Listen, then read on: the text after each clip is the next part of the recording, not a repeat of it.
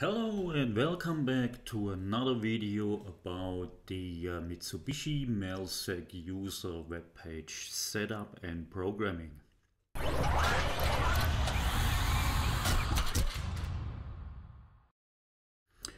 Hey, this is Gerd Zeller from Zeller Press Control Systems and today we are going to talk about how to download the web server design tool or the user page design tool and how to install it and then we're gonna go through on the structure of the folders that are installed. So let's go.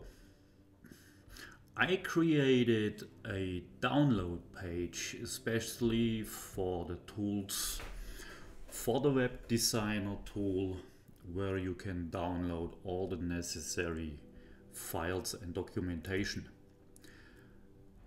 On this link right here, which I will post down in the in the in the video description, you will find a link which leads you to my download page where you can uh, download the uh, web page designer tool, the designer tool manual, and a manual on how to set up the web server and also I created a sample user page for you together with uh, Mitsubishi and this will also be available for download. To start the download you just click the download button. Once the file is downloaded just put it over somewhere on a local place in your file manager. I got it.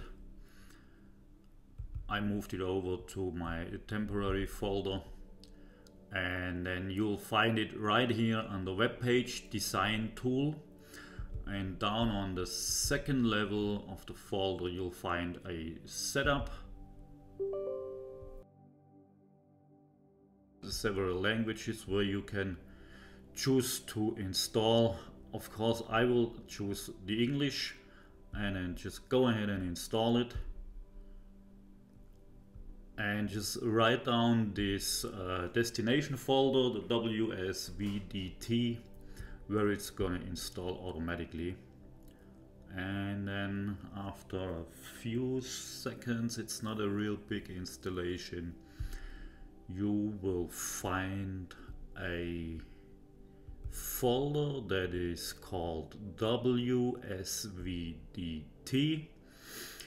and here the interesting part is you'll find um, manuals in English, Japanese and Chinese.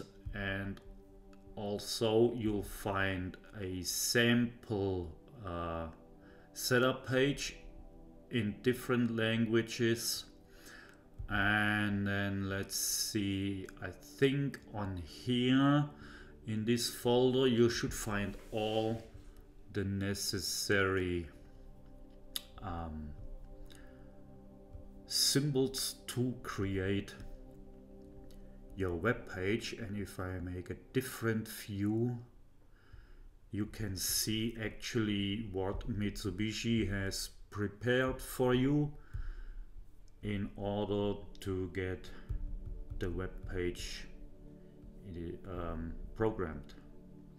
We have many small items like lamps and selector switches and just push buttons. Oops sorry just one moment.